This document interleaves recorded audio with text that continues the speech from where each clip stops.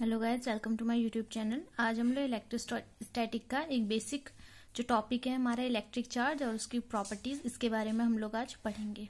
अगर electric charge की definition देखें तो इलेक्ट्रिक चार्ज की डेफिनेशन इस तरीके से होती है। Electric charge is a physical property of matter which causes matter to experience electric forces यानी कि जिसकी वजह से, जिस प्रॉपर्टी की वजह से आपका क्या होता है, कोई भी मैटर इलेक्ट्रिक फोर्स को अपने अंदर एक्सपीरियंस कर सकता है, उसे हम क्या बोलते हैं इलेक्ट्रिक चार्ज बोलते हैं। इलेक्ट्रिक चार्ज मान लो अगर आपने क्रिएट करना है कहीं पर या कहना है कि कोई बॉडी इलेक्ट्रिकली चार्ज है, आप क्या कीजिए किसी भी दो बॉडीज को आपस में रब कीजिए। जैसे आपने क्या करा, अपने सर में स्केल को रब करा और फिर आप उसे कागज़ के टुकड़े के पास ले जाते हैं तो वो क्या होता है स्केल पे ऊपर को आके चिपक जाते हैं। तो ऐसा होता क्यों है? क्योंकि क्या होता है कि रब करने की वजह से आप में क्या, उसमें क्या होता है स्टैटिक चार्ज डेवलप हो जाता है। अब स्टैटिक चार्ज क्या हुआ? स्टैटिक चार्ज जो होता है, जब कोई बॉडी आपकी क्या है मोशन में नहीं है वो एक जगह पे स्थिर है तो उस टाइम पे उसके अंदर जो चार्जेस होंगे, उन्हें आप क्या बोलोगे? स्टैटिक चार्जेस चार्जेस की जो यूनिट होती है, वो होती है कुलाम. डायमेंशन फॉर्मूला उसका 80 और ये क्या होता है? स्केलर क्वांटिटी होती है, यानी कि इसकी कोई भी आपकी डायरेक्शन नहीं होती है. हमारे पास क्या होते हैं? दो तरीके के चार्जेस हमने बना रखे हैं पॉजिटिव और नेगेटिव अब पॉजिटिव चार्ज कैसा आता है? एक एटम होता है. एटम में आपको पता है इलेक्ट्रॉन भी होते हैं और प्रोटॉन भी होते हैं। प्रोटॉन पॉजिटिव होते हैं और जो इलेक्ट्रॉन होते हैं, वो क्या होते हैं? नेगेटिव होते हैं। तो अगर मान लो आपके उसमें पाँच प्रोटॉन और पाँच इलेक्ट्रॉन है और इसमें से आपने क्या करा? एक इलेक्ट्रॉन कम कर दिया तो ओवरऑल आपका जो इलेक्ट्रॉन है, वो क्या हो जाएगा? पॉजिटिवली चार्ज हो जाएगा। तो इसीलिए वो क्या होता है? जब एक इलेक्ट्रॉन कम होने की वजह से या प्रोटॉन ज़्यादा होने की वजह से जो चार्ज अकर होता है किसी बॉडी में, उसे ही हम क्या बोलते हैं? पॉजिटिव चार्ज और इसे डिनोट किससे किया जाता है? प्लस साइन से भी कहीं कहीं पे दिखा दिया जाता है।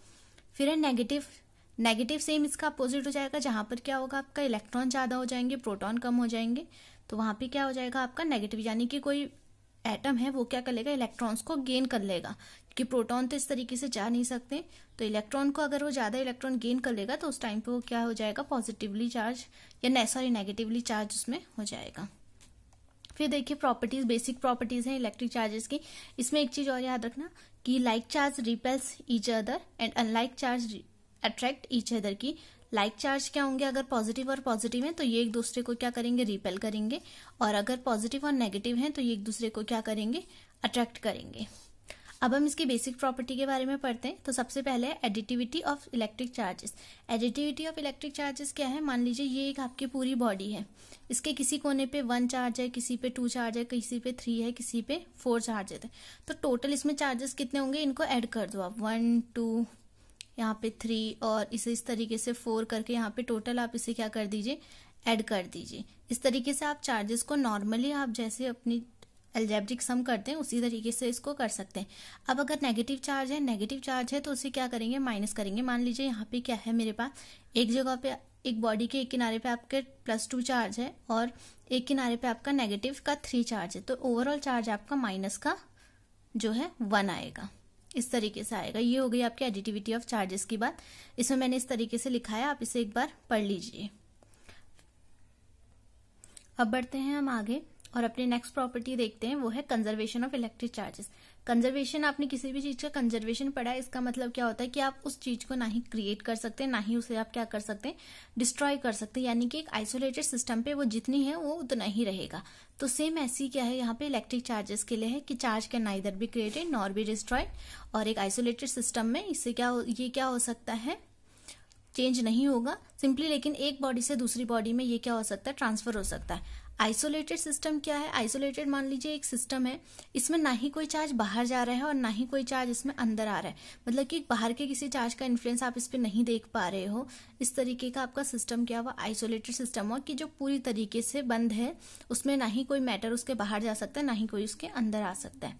ये तो हो गए कंजर्वेशन ऑफ़ इलेक्ट्रिक चार्ज अब है क्वांटाइजेशन ऑफ़ इलेक्ट्रिक ये बहुत ही इंपॉर्टेंट है और इससे आपका क्या होता है? कभी ना कभी कुछ न्यूमेरिकल के टर्म्स में ये पूछा जाता है। तो क्वांटाइजेशन ऑफ़ इलेक्ट्रिक चार्ज क्या बोलता है? आपकी सबसे छोटी यूनिट होती है चार्ज की वो होती है ई e, यानी कि एक इलेक्ट्रॉन का चार्ज ठीक है? इलेक्ट्रॉन या प्रोटॉन दोनों का चार्जेस इक्वल होते हैं। तो आपने क्या लिखा? इसमें ई e करके आप इसे दिखाया।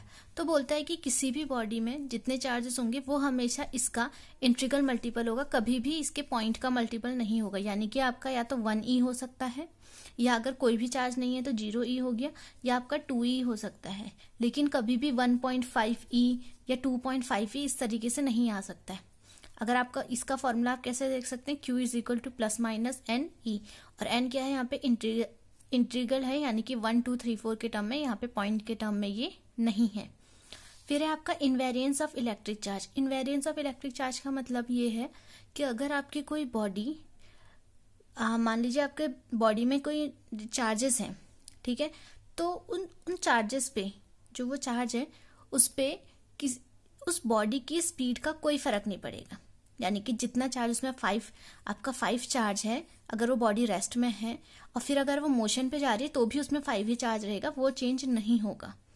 ना ही वो स्पीड के ऑब्जर्वर की स्पीड पे डिपेंड करेगा, ना ही वो खुद की स्पीड पे डिपेंड करेगा। सिंपल क्या होगा? वो जितना है वो उतना ही रहेगा। चार्जेस कभी भी चेंज नहीं होगा। मतलब चार्जेस का जो मैग्नीट्यूड है, वो चेंज नहीं हो पाएगा। देखिए magnitude of charges of a body does not vary whatever may be its speed और the speed of the observer की, चाहे ऑब्जर्वर की स्पीड कुछ भी हो और चाहे आपकी बॉडी की स्पीड कुछ भी हो चार्जेस का मैग्नीट्यूड हमेशा क्या रहेगा? सेम रहेगा। ये तो हो गई हमारी बेसिक प्रॉपर्टी चार्जेस की। अब मैं एक न्यूमेरिकल लेकर आई हूँ क्वांटाइजेशन ऑफ़ चार्ज पे। देखिए क्या है। बोल रहा है can a body has 2.8 point eight into ten to the power minus eight coulomb of charge कि क्या बॉडी पे इतना चार्ज हो सकता है? तो आपने क्या करा? क्वांटाइजेशन ऑफ़ चार्जेस पढ़ा।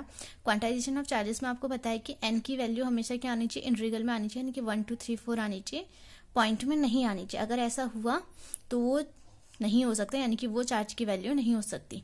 आपको क्यू की वैल्यू दे रखी है। ई e की वैल्यू आपको पता होती है। One point six into ten to the power minus nineteen होती है। आप वैल्यू रखिए, देखिए Q is equal to any Q की जगह पे आपने ये रखा। एन की वैल्यू आपने निकालनी है और ई e की जगह पे रखा। तो जब आप इसे सॉल्व करेंगे तो एन की वैल्यू आपके पास आई सेवनटीन पॉइंट फाइव ये पॉइंट में आ रही है। या तो अगर ये सेवनटीन होती या एटीन होती है तो चलता। लेकिन यहाँ पे क्या हो रहा है? ये पॉइंट पे आ रही है। इसका मतलब ये पॉसिबल नहीं है कि किसी भी बॉडी पे इतना चार्ज हो। ये थी हमारी चार्जेस और उसकी बेसिक प्रॉपर्टी की बात। नेक्स्ट वीडियो में मिलती हूँ आपसे एक नेक्स्ट टॉपिक के संग। तब तक के लिए टेक केयर गुड बाय